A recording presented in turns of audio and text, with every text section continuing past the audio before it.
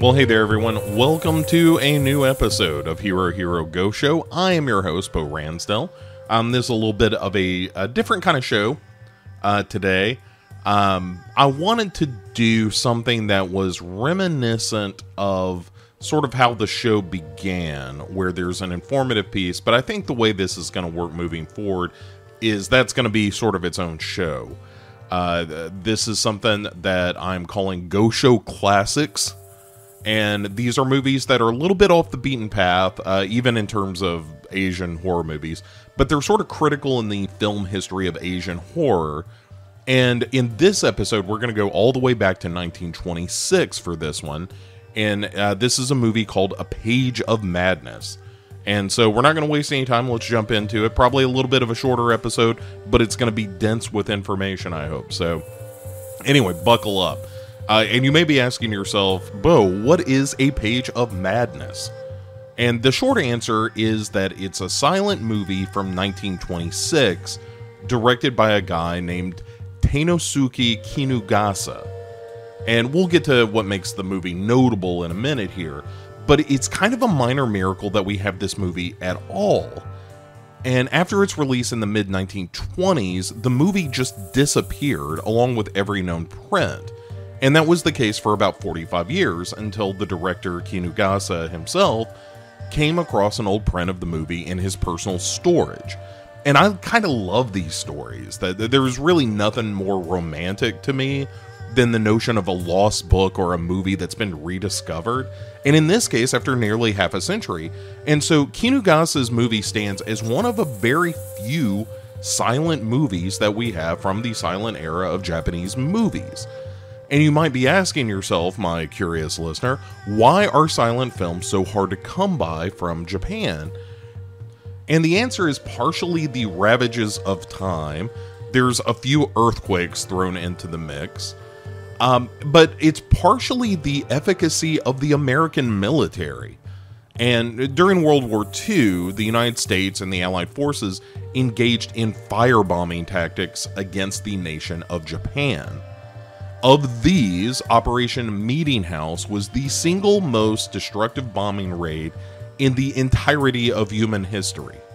It happened on the night of March 9, 1945, when 334 B 29s dropped about 1,665 tons of bombs on Tokyo.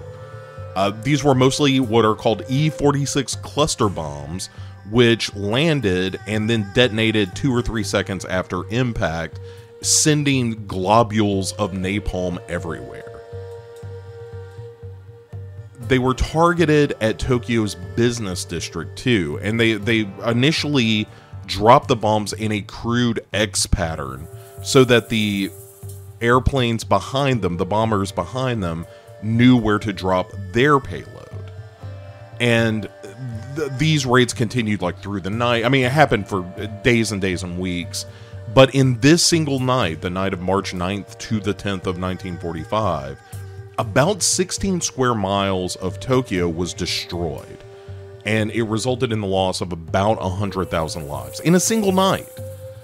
And most of these targets were non military, and the raid itself was as much about retribution for Pearl Harbor as it was about military strategy although it was intentionally cruel. Uh, and we'll get to why that was here in a minute. But in addition to the loss of life and the impact on Japanese industry and small business, another million people found themselves homeless as these giant fires ripped through the neighborhoods in Tokyo. And within Japan in recent years, there's been sort of an accounting of this event at a government level, but probably not in the way that you might think. Um, in 2007, the Japanese government officially apologized for these raids, and in the same year, a group of citizen survivors brought a lawsuit against the Japanese government, claiming that the government itself was responsible for these raids. And you might ask yourself, why not the United States? They were the ones dropping their bombs, and they honestly could feasibly be accused of war crimes for the use of these weapons against civilians. But by the time that Americans were dropping these bombs on Tokyo, it was clear that Japan was going to lose the war. And the suit that was brought against the Japanese government alleged that Japan was responsible because the government at the time saw the writing on the wall, saw that there was really no real way for Japan to win the war. But they continued to fight the war, anyways, and that forced the Allied forces to use more extreme measures, including the atomic weapons used in Hiroshima and Nagasaki, to basically pummel Japan into finally declaring defeat. And the lawsuit was thrown out, but it kind of offers us some insight into how Japanese citizens, at least some of them, view those wartime bombings, less a, a, a product of the American military and more that Japan just wouldn't admit that they had been beaten. But regardless of the politics and the morality of these bombing raids, they cost Japan not only tens of thousands of lives, but much of their recent history, especially film history, was lost at the same time. Uh, a lot of the Japanese cinema just burned up. You know, the victims of this war, along with the men and women who starred in those films. And so the discovery of A Page of Madness is remarkable for many reasons. Uh, when it was first shown, A Page of Madness had no inserts or title cards or anything like that to convey dialogue, the way that a lot of Western films did. Uh, in Japan, silent movies were generally accompanied by a live band and a narrator uh, who was known as a benshi, who would guide the audience through the events of the movie. And they would fill in not just information like, oh, here's what this character is saying, but would also sort of, you know, weave this tale, including the emotions of the characters and sometimes their motivations and that kind of thing.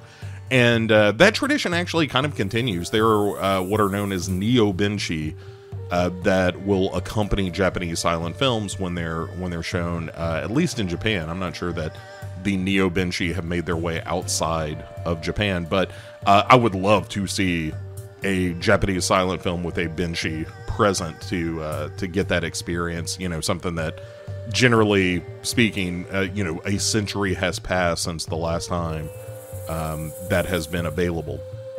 But uh, speaking of this movie, let's let's get into it now. And A Page of Madness is certainly a surrealist film.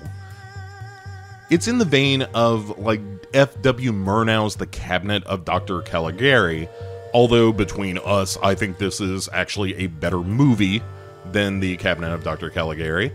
Um, the director, uh, Kinugasa, was born in 1896, and he started working in uh, the film industry in 1917 at the uh, the tender age of 21, and he played uh, what's called an onagata, or uh, he, he, basically was a guy who played mostly female roles. But uh, and that was you know certainly a job that you could have at the that time in Japanese film. But he ended up moving on to directing, and the reports are that he first conceived of A Page of Madness after a trip to a mental health facility in Japan. Uh, and then there was a subsequent encounter with the 123rd Emperor of Japan, Taisho Yoshihito. Uh, now, the Emperor Taisho, at the age of three weeks, he co- he contracted uh, cerebral meningitis, and though he recovered mostly, he still had health problems and especially mental health problems uh, for his entire life. And, and that led his family to kind of hide uh, the young boy from the public eye. And uh, but as he grew older, you know, he took on the mantle of emperor, but he was still largely kept away from from public view because he still had lingering issues from this cerebral meningitis. But uh, Kinugasa apparently ran into him, and and the idea of this sort of mad boy king, uh, as well as his previous tour of a mental health facility in Japan, led to Kinugasa uh, sort of conceiving of a movie based in and around a mental institution, as well as about the you know the concepts of madness and so forth. And so to bring this vision of his to this the screen Kinugasa sought the aid of uh, the, what are called the Shinkankaku. Uh, and that, my pronunciation is probably terrible there, but uh, they were basically a group of these impressionist literary figures who also had this fascination with surrealist cinema because some of that had filtered into into Japan, right? For the stuff from uh, Germany and uh, and and from America as well. And they loved cinema and, and, and what opportunities cinema could afford. Um, so the writing of the movie is generally credited to a guy named uh, Yasunari Kawabata. And Kawabata would go on to win the Nobel Prize for Literature in 1968 on the back of a career of short stories and novels and was generally considered, you know, one of the preeminent uh, authors who was able to capture sort of the spirit of Japan uh, in his writing. He was the first Japanese citizen to ever win the award for uh, the Nobel Prize for Literature.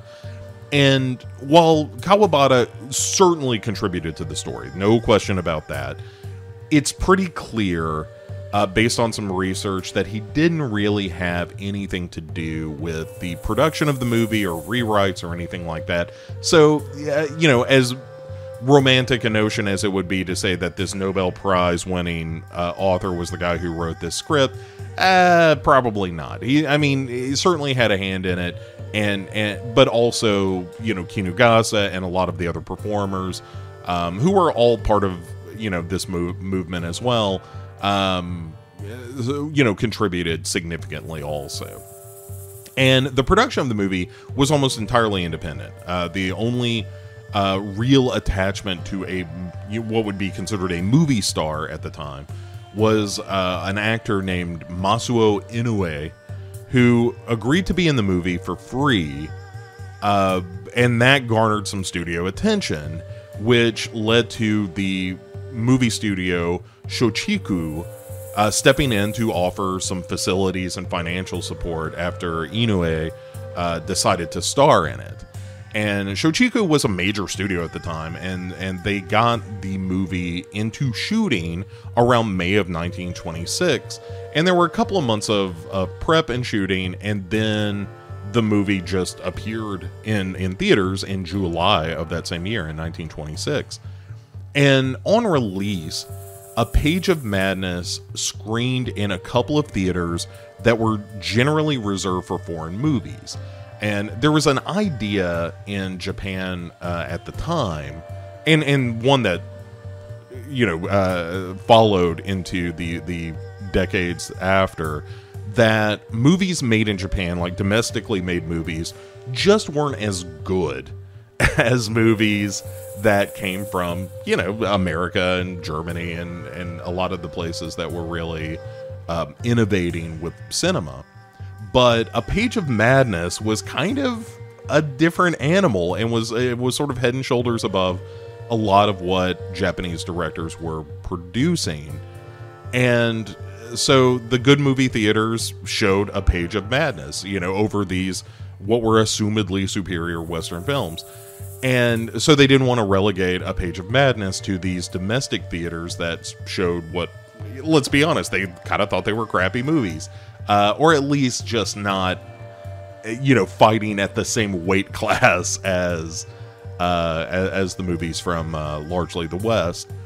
And one of the contemporary critics at the time, though, after A Page of Madness was screened, was pretty quick to say that, like, hey, this is the first film like film born in Japan. Uh, that is a quote that comes from a guy named Akira uh, Iwasaki, um, a critic at the time. But unfortunately, while critics absolutely loved A Page of Madness, uh, audience were really put off by it because it is a very surrealist film. Um, it is strangely Lynchian in a lot of ways, but that's, uh, you know, assuming that Lynch did not borrow heavily from a lot of surrealist uh, uh, directors and editors that came before. But it has that kind of vibe, right? It is not uh, a very easy sort of good guys versus bad guys kind of movie. It's way more complicated than that, and that's also what makes it fascinating and and you know it reminds us how lucky we are to, to even have this movie uh, in, in, our catalog. But when it was rediscovered uh, in 1971, the film Kinugasa returned to circulation was also about 30 minutes shorter than the movie as it originally screened, and that trimming is generally believed to have been done by Kinugasa himself, and that no version of this longer, like 140 minute film remains unless it it's sitting somewhere undisturbed in another storage facility somewhere uh, just waiting to be discovered and that's kind of a romantic notion as well. But all right so enough about the heritage of the movie. Uh, let's talk about what makes a page of madness kind of a special movie regardless of the circumstances surrounding it and sure, Kinugasa was a brilliant and avant garde filmmaker in his own right, and later in life, he would be rewarded with the Palme d'Or at Cannes, and uh, he would get an Oscar uh, the same year for 1953's Gates of Hell. Uh, but in these early silent days, when A Page of Madness screened, he was mostly influenced by a Murnau movie, um, and, specifically one called The Last Laugh from 1924 that uh, Kinugasa referenced quite a bit. And using that movie sort of as his impetus to be willing to do anything sort of with film composition and editing and camera placement and camera movement all of that stuff would be employed to achieve this desired effect and in the story kinugasa is telling this tale of a custodian is how he's often referred to at an insane asylum uh, the, this custodian was played by the the guy Masuo Inoue that we talked about earlier, and he's taken this job to be near his wife, who is crazy, uh, which is not the scientific term. I understand that, but uh, she is uh, institutionalized because she tried to kill uh, their infant child, and the daughter of the custodian, the now adult daughter comes to the custodian and says, "Hey, I'm I'm going to be uh, wed potentially. I have a suitor." And the custodian is a little freaked by this because, on the one hand, he doesn't have a dowry uh, to to offer, which you know, if you're unfamiliar with dowries, it's just traditional gifts that the the father of the bride provides or the bride's family provides. Um, also, uh, you know, the, there was this stigma attached to mental illness, right? That the idea was that in Japan at the time, um, that mental illness was hereditary, and and we have learned uh, through the years that that's not entirely untrue. But you know, uh, in the world of a page of madness, that uh, carries with it a stigma that you know, hey, maybe this guy is not going to want to marry the custodian's daughter because of uh, of the wife. So the custodian is sort of in this position where he is trying to potentially escape with the wife to hide her. Uh, question mark. Uh, again, this is a little unclear. It's it's a very surreal film, and and sometimes the motivations are a little lost because we do not have a Benshi along for the ride to explain some of this stuff. But that seems to be the idea um, which results in a riot in the asylum, and uh, and it, you know at the end of the day, uh, the the custodian starts to have these visions that may or may not be true. Uh, some we know aren't. Like he has this very uh, vivid dream about winning this beautiful bureau that he can then use for a dowry for his daughter. But more than that, there's you know a, a continuing sense that our custodian may be losing touch with reality and you know the like the shame of his wife's insanity is weighing on him and he starts to disassociate from reality also. And the, you know there's a giant riot scene inside this asylum where um all the or a, a, number of the male inmates are inspired to to violence because of the dancing of another uh, inmate, a, a young woman who continues to dance, and the whole thing is really disorienting in a good way, where the our custodian character at a certain point you start to wonder like, well, is he just going to end up behind bars? here as well because he is clearly getting crazier and more erratic in his behavior as well. Um, and to sort of sell this idea, there are all these crazy, like, superimposed images on top of superimposed images where you'll see like lingering shots of bars as characters are walking um, away from the asylum and things like that. And it just creates this genuine sense of kind of frenzy and mania. And the editing too is really propulsive, especially at the beginning. There's this great sequence where you see rushing water and this uh, inmate at the asylum dancing. And as the music increases or you know the, the music of uh, the the cut I watched that had been laid over the film. But even without the music there is still this really uh, powerful sense of, of time speeding up and the shot speeding up and you're cutting between this water and this storm and this woman dancing and she's dancing and dancing and dancing and the storm's getting worse. And it's it feels incredibly modern. It feels uh, somewhat scorsese like at times. Um and it, it like you would think that this was a movie that was made you know a half century later than it was based on the editing alone. And it also doesn't have i mean it, it does have some of the dramatic acting of a silent film but even that feels more subdued and it just feels like there's so much more going on under the hood of this thing. Uh, again to compare it to lynch a little bit it just feels as if it's Kinugasa and and a lot of the the writers and performers allowing themselves to express the concept of madness in any way that the the form of cinema allows. And in the end of the movie, our custodian protagonist ends up fitting all of the inmates in this asylum with masks from the Noh tradition of theater. That's NOH uh, for those keeping score at home. And in the context of the time in which A Page of Madness was released, this would be considered a little bit of parody, as those sort of theatrical masks were generally associated with the upper class and high society and, and that sort of thing.